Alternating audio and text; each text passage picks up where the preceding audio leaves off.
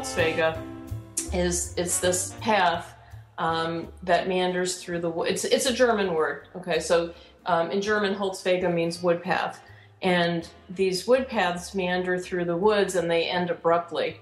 And originally, they were a lot of them were paths that were used for um, clearing wood uh, for the lumber industry. And I, I, first came to the the word Holzwege um, through Martin Heidegger, who actually used the word Holzwege as the title of a book of essays he did. And the reason that he used the word Holzwege was um, for him, it was a, a, conduit to inquiry, philosophical inquiry, and uh, discovery. And I really like that idea that you know you're on this path and it just ends. But rather than that being a bad thing, it forces you to say, okay, well, what can I discover here? Where can I go from here? And it opens up all these new possibilities, and I wanted to use it that way. So, so that's where this this came from in the first place. Mm-hmm. When you worked with layers before, have you had a paths also within your work before, or is this just something entirely new that you've just got uh, into?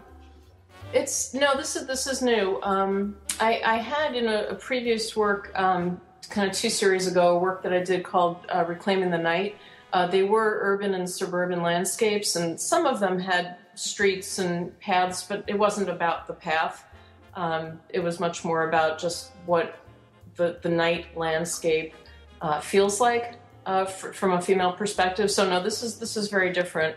Um, and the funny thing is, landscapes seem to come in and out of my work all the time, and I never really thought of myself as a landscape photographer. Mm-hmm. When I think of landscape photography, I think of Ansel Adams and those those kinds of images, and I don't see my work being anything like that. But um, yet, the, the landscape is very uh, very prevalent in my work and and I realize now that it's it's actually very important that I have a real connection to the landscape, and and a lot of this work has been uh, about exploring that as well, my own connection to the landscape and to specific landscapes within this larger context of, of the Holzwege series. Right. In terms of the process itself, are you do you have a goal when you go out to, and achieve that goal in terms of oh I'm going to look for the mountains or this particular path, or you just sort of stumble upon them as you as you uh, live your life?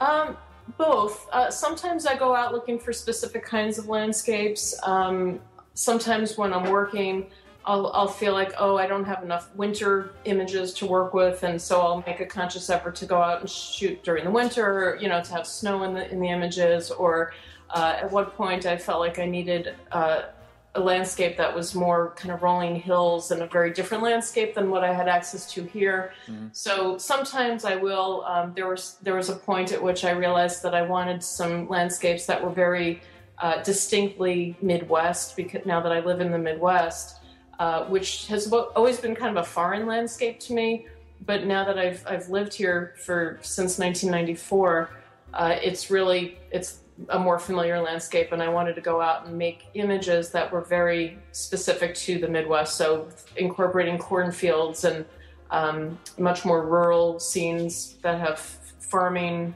uh, you know, barns and things like that. Mm-hmm. So yeah, so sometimes I'm looking for specific things, and other times I'm just out. If I'm on a road trip, I have my camera with me. If I see something uh, that I respond to just as an artist, I'll, I'll shoot it. Or if I see something that I think relates to the, the body of work, I'll shoot it. Uh, a lot of times, if it's just the lighting is, is really good, I'll go out and shoot. Or when I'm driving, if there's particularly nice lighting, I'll shoot while I'm driving, or preferably when somebody else is driving, but I, sh- I shoot through the windshield. Literally while you're moving, huh? Uh, yeah. Well, usually when I'm shooting through the windshield, somebody else is driving, uh-huh. but not always. Very nice. Um, so, uh, have you started this work in the film age, or you've been strictly digital your t- entire career? Um, no, my my entire career is is definitely not digital. My entire career is is everything. Um, this particular series is strictly digital. Mm-hmm. Uh, when I set out to do this body of work, it's I knew that it, had to be digital. I knew it had to be color. Uh, I knew that I was going to be shooting color images and working with transparency. Uh, and I, I, didn't know much more than that, but I, I knew that that's where I was going to start with this. So, yeah, it, it, was always a digital project. Where other projects I've done, I've gone back and forth between film and, and digital technology. Mm-hmm. Now, describe how you got started on on uh, your photography. Well, actually, it's a funny story. Um, when I was 16 and living in New York City, my uh, my very dear uncle uh, said, I, I want to get you something special for your birthday. And, and I said, and I was really into astronomy at the time. And I said, I'd really love a telescope. And mm-hmm. so he mm-hmm. said, Great, I would love to buy you a telescope. And he did.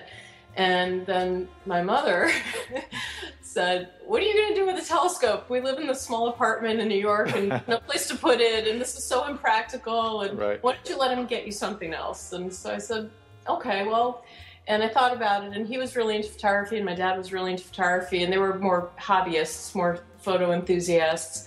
And I thought, well, a camera would be a practical gift.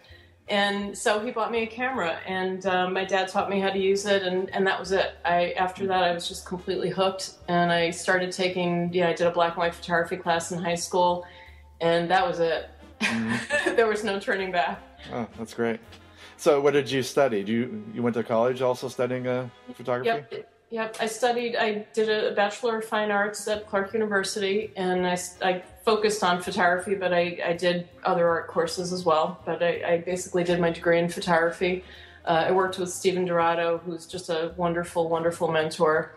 And then after uh, college, I came back to New York and worked in the city for a couple of years uh, in commercial photography, did some photojournalism, some freelance work, did some traveling and shooting on my own, and uh, applied to graduate school.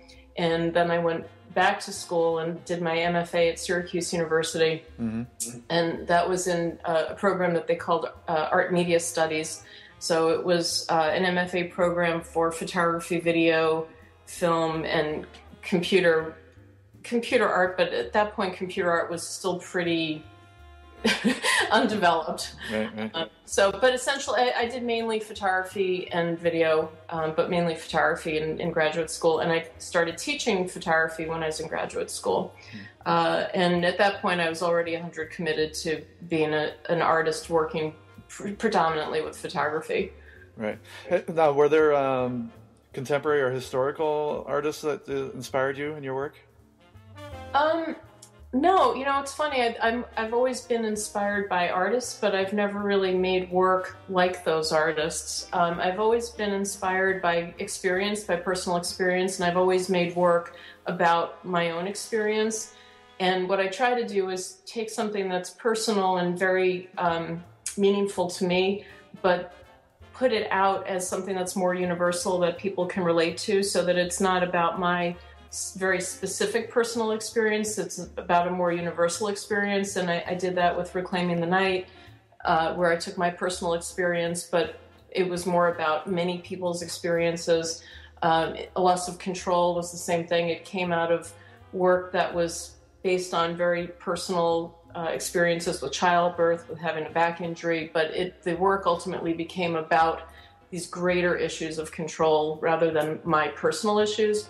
And then with this work, same thing. Um, they are very much about my personal experience of the landscape, but what the viewer hopefully gets from these is is a much more universal experience that we all have. We all have that experience where you think you're going along, you know what you're doing, uh, you have plans, and then life just changes right. and, and we adapt. And um, sometimes we end up in a much better place.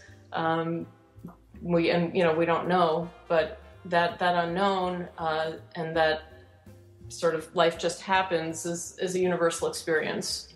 Mm-hmm. Uh, where would you like to see your work evolve from here?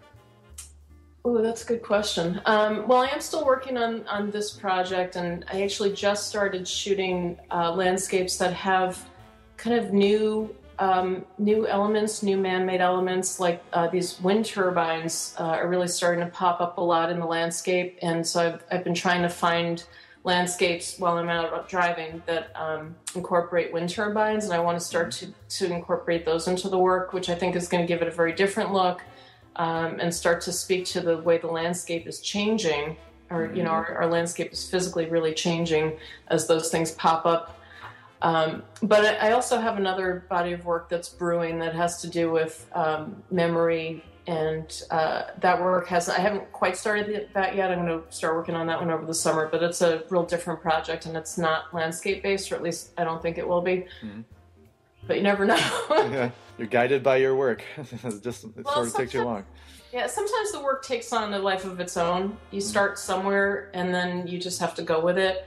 Uh, I certainly didn't know exactly what these pieces were going to look like. A lot, and a lot of the pieces, when I start an individual piece, I take photographs, uh, individual photographs, and I, I, play with them. I put them together, and I might have some ideas that this particular image is going to look good combined with this particular image. But until I actually put them together in Photoshop, I don't really know. Mm-hmm. And I play with them, and sometimes things happen that I don't anticipate, and that's always really exciting.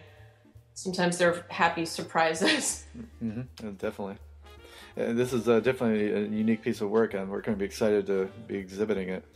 Um, one final question: What words of wisdom would you uh, instill upon uh, uh, any young, inspiring uh, photographers? Uh, I think it's very important to work from what you know and and work from something that's true to you uh, and do work that's meaningful, personally meaningful to you. Um, you have to be willing to work very hard.